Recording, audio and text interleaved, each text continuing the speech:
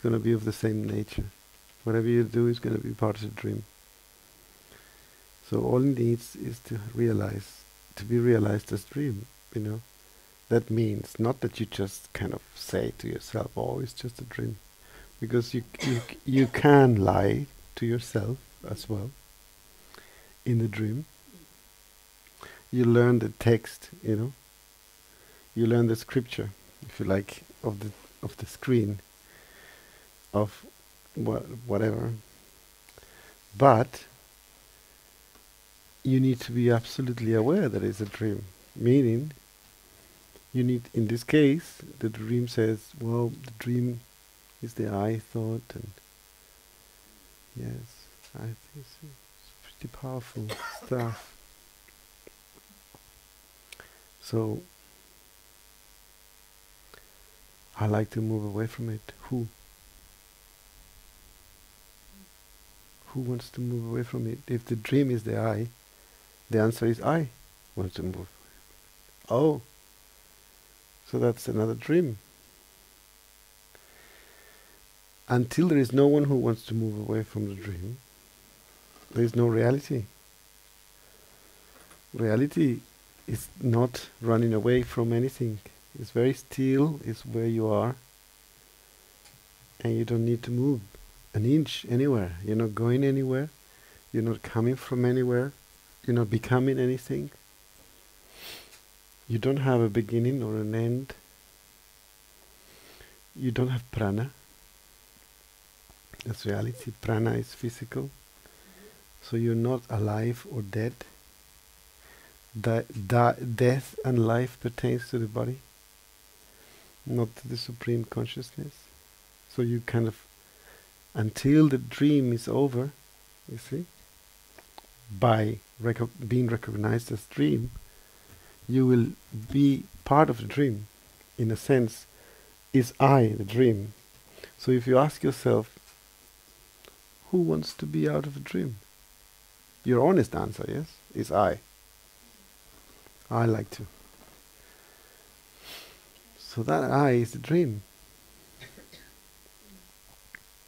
Now the fantasy is so beautifully complex that it appears to be that the dream is that one and not this one.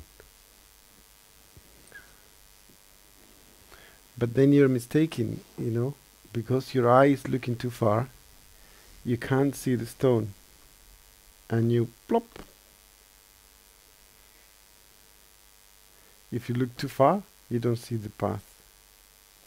So if you look into the dream, you don't see the dream about what how to deal with the dream.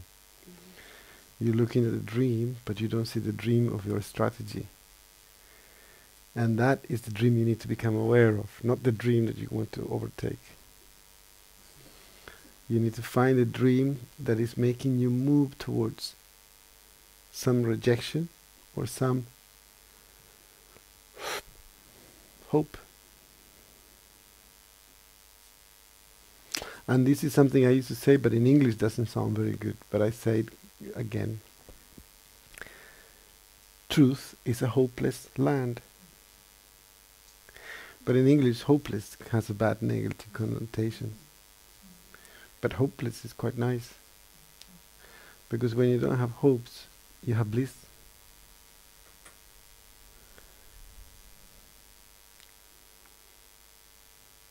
When you don't wish for things to be better, you see them better already.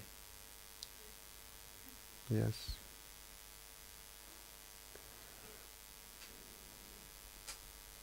Is that making sense?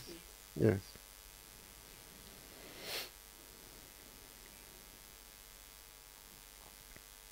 Thank you. Mm, yes. The stone is just down there, you know.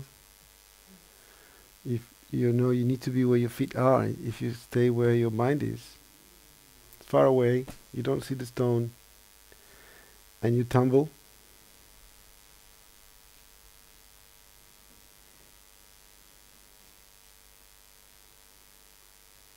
And you blame the dream that you can see far away. You don't name, you don't blame the dream that make you tumble, because if you're not dreaming that one, you're not moving.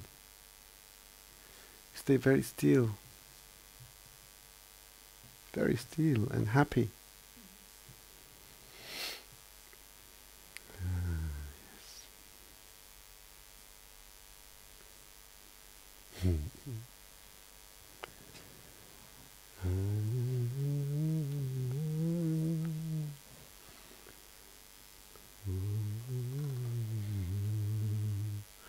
We have a question here, please. We can move the microphone.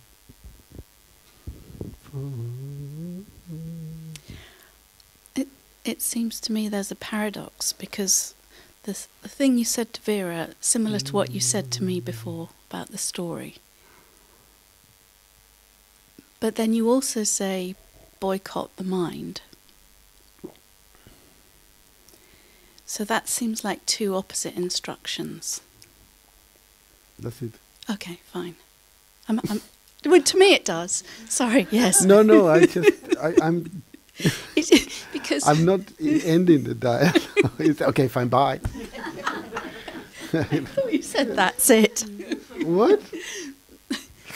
To me, it seems like there's the instruction that says who says you have to not get involved in the story or whatever, Mm.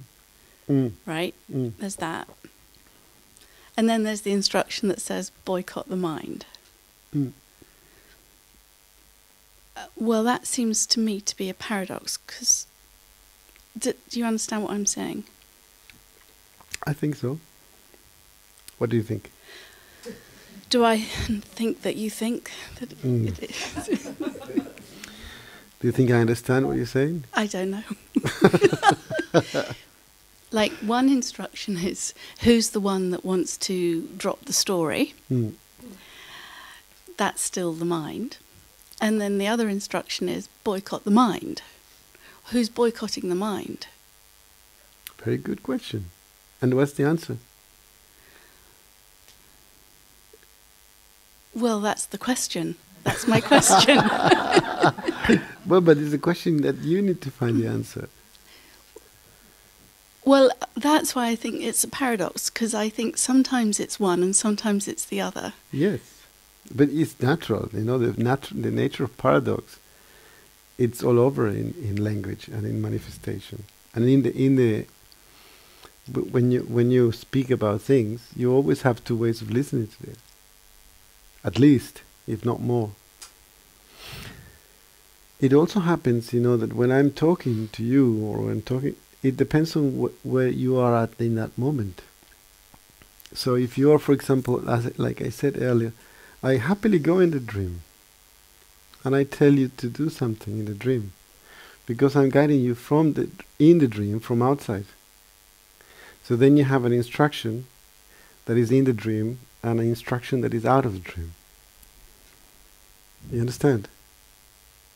So who is I'm giving the instructions to somebody in the dream, and I'm also giving instruction to the self that you are. Mm. Yeah, yeah, brilliant, brilliant. Okay? That makes sense. yes. Yeah, thank you. yes, yes, and that's what happens with, that's what happens in satsang. That's why it's so complex because, you know, I'm talking to more than you. I'm talking to to to many you. You know, when I talk, I talk to you in the dream, and I talk to you in reality, and I talk to you in both sides. So I kind of keep a dialogue. Because I can go in the dream, and I can come out of the dream, and I'm in the dream, know it's a dream, but I can be the dream. This is why I have fun. Whilst you you're not having so much fun in the dream. but at the same time, you know, having said that, is the dream, you see, in the dream, is not all lost. Remember that the dream is consciousness. It's not like we like to imagine either the dream or, you know. So this is why it's as valid as an instruction within the dream as an instruction beyond the dream. Um,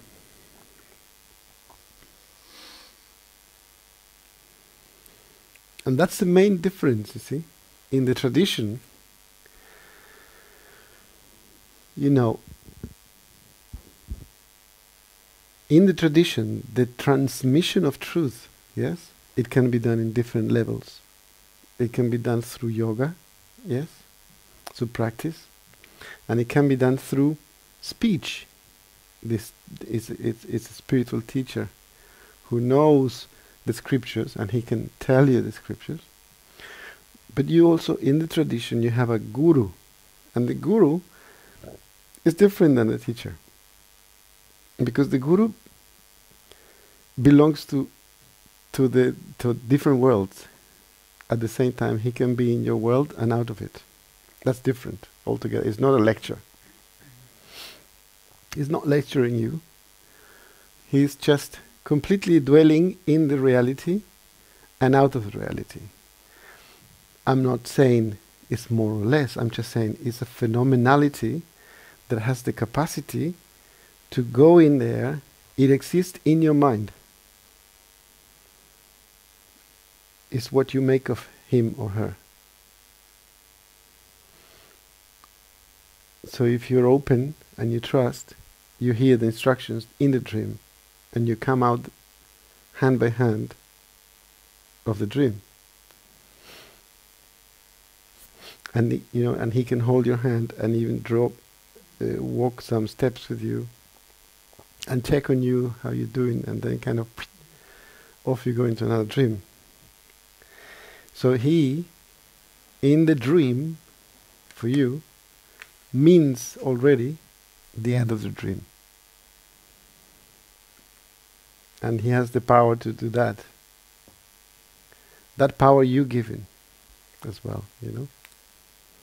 So this is the difference and this is why the dialogues are awkward and they're sometimes full of um, uh, uh, how do you call it? Paradox but not even well contradictions more than paradox it's just like he can easily say to you don't do it now do it. No don't do it do it no do it. You just go like mad.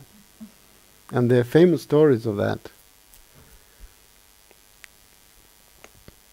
you know many many beautiful stories of interactions with such a being. And they go like this, and you just come get you know it just well you stretch it as much as unlimited fantasy. Because then in that in that interaction he can go deep in the dreams where you are.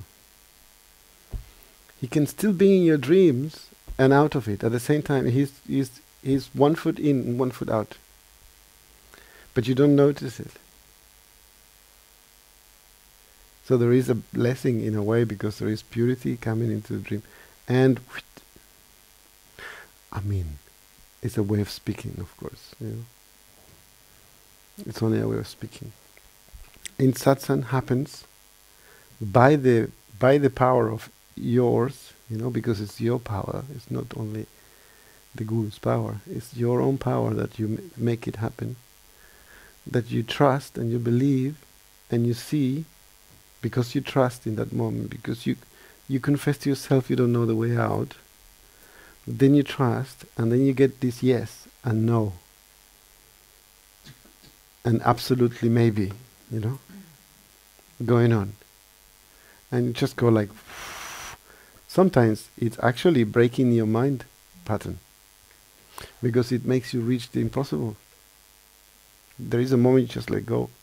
He tells you jump, don't jump you get to get ready for jumping. We're gonna jump at two o'clock, and you go suffering like eight hours. Oh my God, it's coming on. It's just like I don't know if I do it. I should do it or not. Know. Well, yes, I'm gonna. No, I'm not. And what if? And you go through all kind of mental torture.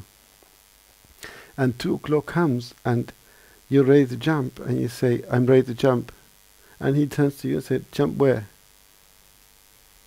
Because the path was that process you went before and not the jump. The jump was already happened, had already happened. You see?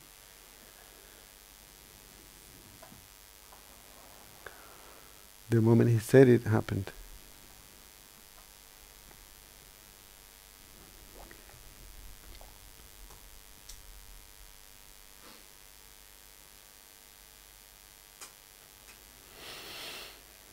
And that happens beyond his own control at all. Huh? He's an instrument of the divine. He's just following his heart and his instinct. He's completely an instrument like a guitar is for the musician. He doesn't get involved with that. He doesn't think, what should I say, or should I say it now or not. He's completely flowing. Because you need, you know, the guru is, is invisible.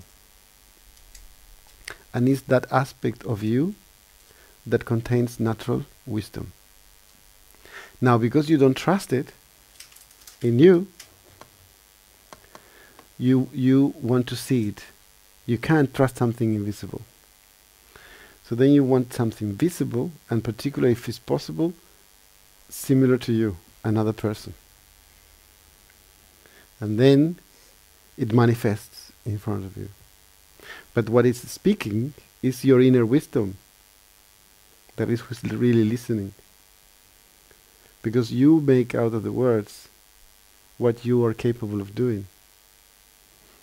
So then you meet your inner guru through an outer guru when there is connection. Then he's pointing at your own wisdom. He's voicing your own wisdom.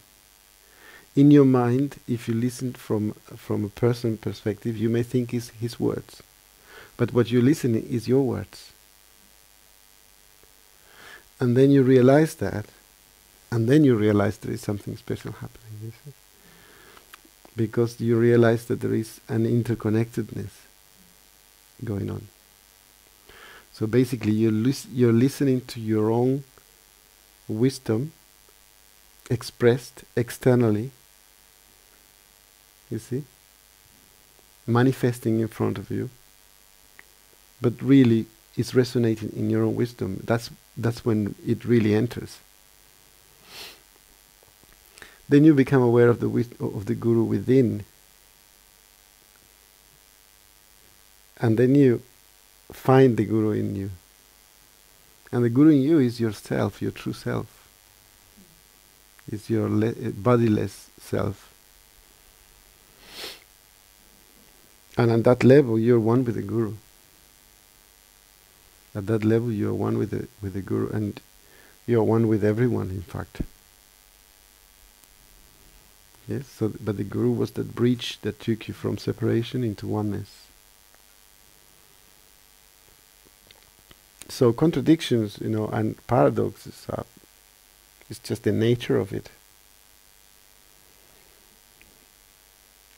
The guru is also smashing your rational qualities, you know, the of rational, taking things rationally. So then he also stretches your capacity to to reason till it burns out. It's not always pleasurable to be, you know, in satsang. Sometimes it's very, very stressful and even like a torture.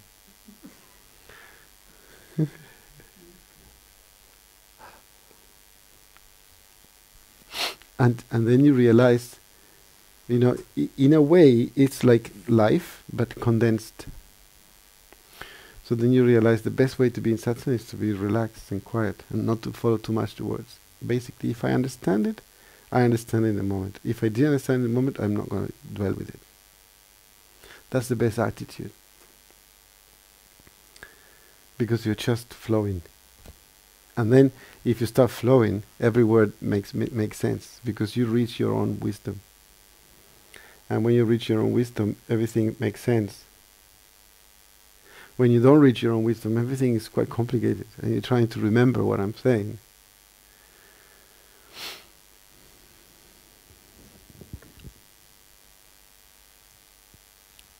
Yeah, thank you.